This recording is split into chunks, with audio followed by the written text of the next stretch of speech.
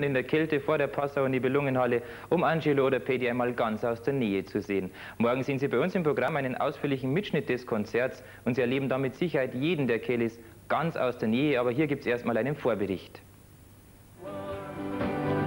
Bereits letztes Jahr begeisterte die Kelly Family ganz Passau. Heute tritt die Großfamilie erneut in der Nibelungenhalle auf. Hartnäckige Fans reservierten sich bereits gestern Abend ihren Platz vor den verschlossenen Türen.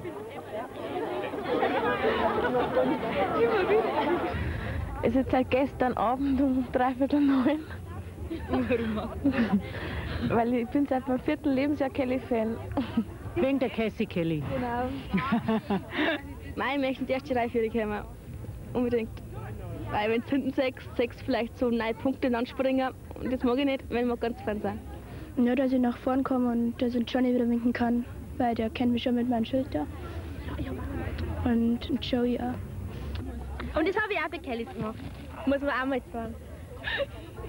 Wenn schon, denn schon, ein Real Fan. Die Wartezeit vor dem Einlass verkürzen sich die Fans mit dem Nachsingen von Liedern ihrer Idole.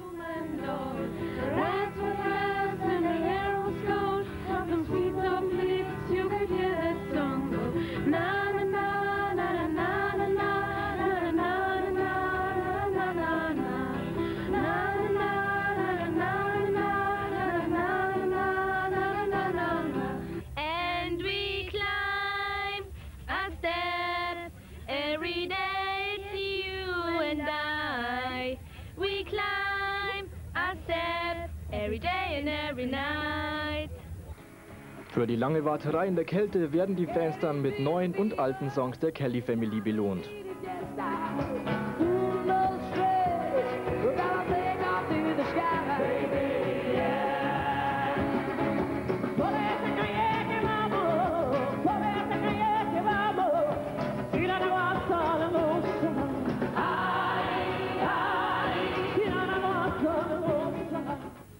Ja, und gleich geht's ja los bei den Kellys. Ich glaube, um 19 Uhr ist Beginn. Kurz